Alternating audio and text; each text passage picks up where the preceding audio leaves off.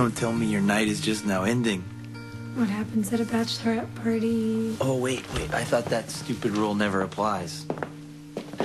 How was girl bonding time with my mom?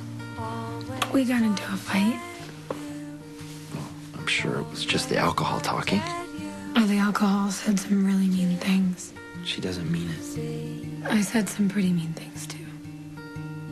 Don't worry about it. You'll you'll work it out at the rehearsal dinner, okay? Not need the rehearsal dinner anymore. I don't deserve you, Julian. I did something horrible. Two things. I lost my engagement ring, and I kissed some guy.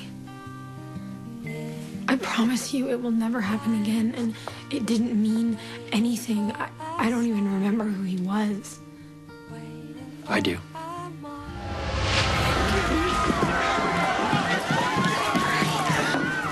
Whoa, whoa, whoa,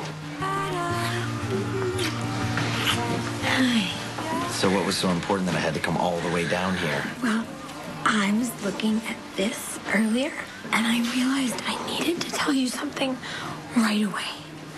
I love you. I mean, I really, really love you. Uh-oh.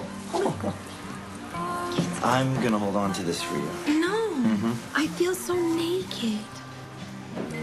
You should get naked. No.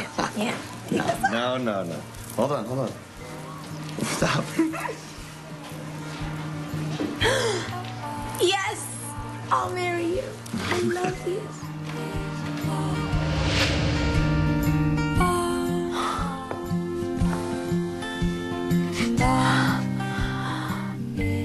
We have literally been looking everywhere for this.